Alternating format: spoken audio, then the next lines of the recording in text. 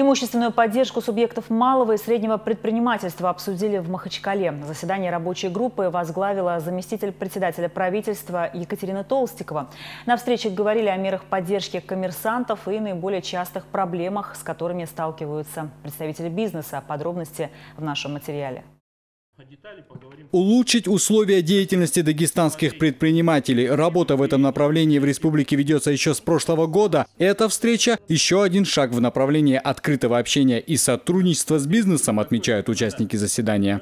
Для нас очень важна сегодняшняя встреча, потому что мы очень много говорим о том, что республика не раскрывает перечень имущества, которое находится в собственности и а, не все предприниматели могут получить права на то имущество, которое находится в республиканской собственности. 27 объектов недвижимого имущества, в том числе 6 земельных участков. Это перечень свободной собственности, которая выявлена в результате проведенной инвентаризации. Любой желающий предприниматель сможет арендовать это имущество и начать свой бизнес. Перечень земельных участков у нас тоже висит на сайте. А, с ним ситуация немножко сложнее, потому что там очень много обремененных участков. Но а, в будущем, то есть я думаю, что в октябре, наверное, мы сможем уже полностью раскрыть а, достоверную информацию о том, какие участки действительно свободны, на которые предприниматели могут заявить свои права, потому что очень много министерства получает обращений. По данным специалистов, в числе основных проблем, с которыми сталкиваются бизнесмены при обращении за получением государственного и муниципального имущества, большое количество документов и длительные сроки ожидания поддержки. Эту процедуру удалось упростить. В этих целях Минимуществом с прошлого года во взаимодействии с МФЦ реализуется проект «Недвижимость для бизнеса».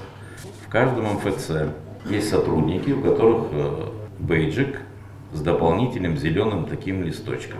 Это как раз таки представители вот э, данного проекта, можно обратиться к ним и решить э, все вопросы, связанные с подачей документов, с формированием комплекта документов, э, с получением информации, не приезжая, допустим, э, в Махачкалу, Минимущество Помимо имущественной поддержки, дагестанские предприниматели могут получить и финансовую. О них рассказал специально приглашенный гость из Федеральной корпорации по развитию малого и среднего предпринимательства Андрей Чуев. Из нового, наверное, что заинтересует бизнес, о том, что существует э, финансовая поддержка, которая э, есть возможность финансирования со стороны МСП банка и банковского сообщества, банков-партнеров корпорации.